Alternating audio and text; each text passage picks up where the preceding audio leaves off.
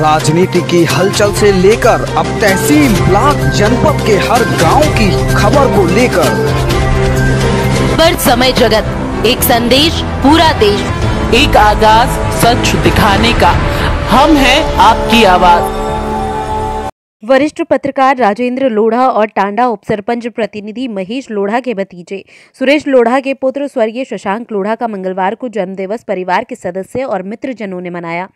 इस मौके पर धार में संचालित पंडित दीनदयाल अंत्योदय रसोई केंद्र में सभी इष्ट मित्रों और परिवारजनों ने जन्म दिवस के उपलक्ष्य में लोढ़ा परिवार टांडा की ओर से लोगों को विशेष भोजन करवाया। ज्ञात हो कि कुछ वर्ष पूर्व शशांक लोढ़ा और उनके मित्र मुकेश डूंगरवार का एक कार एक्सीडेंट में दुखद निधन हो गया था। इस अवसर पर सुरेश, राजेश सचान, नमित जैन, अनुराग सचान, आयुष, पीयूष, लायन क्लब, धार की हेमा जोशी आदि लोग मौजूद रहे। टांडा से दीपक सोनी की रिपोर्ट, समय जगत के लिए। पर समय जगत। एक संदेश पूरा देश।